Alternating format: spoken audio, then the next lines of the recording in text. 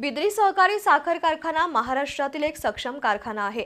या कारखान्याची राजकीय बदनामी करण्यासाठी विरोधक भ्रष्टाचाराचे आरोप करत आहेत त्यांच्याकडे राजकीय मुद्दा नसल्यानं अकाउंटमधील अज्ञानातून ते आमच्यावर चिखलफेक करत आहेत कारखान्यामध्ये एक रुपयाचा देखील भ्रष्टाचार झालेला नसताना केवळ बदनामीच्या षडयंत्रापोटी चाललेलं हे राजकारण घृणास्पद आणि निषेधार्ह आहे.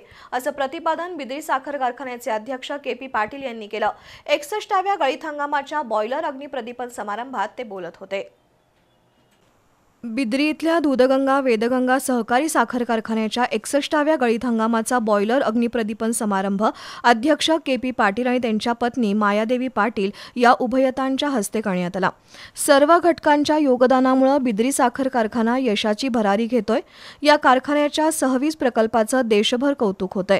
तसंच होऊ घातलेला इथेनॉल प्रकल्प देखील सभासद कामगारांच्या जीवनामध्ये सोन्याचे दिवस आणल्याशिवाय राहणार नाही.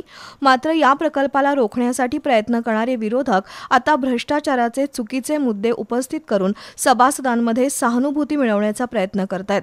मात्र संस्थेची बदनामी करण्याचं षडयंत्र रचणाऱ्यांना येत्या निवडणुकीत सभासद धडा शिकवल्याशिवाय राहणार नाहीत असा इशारा के पी पाटील यांनी दिला. यावेळी कामगार संचालक शिवाजी केसरकर यांनी मनोगत व्यक्त केलं.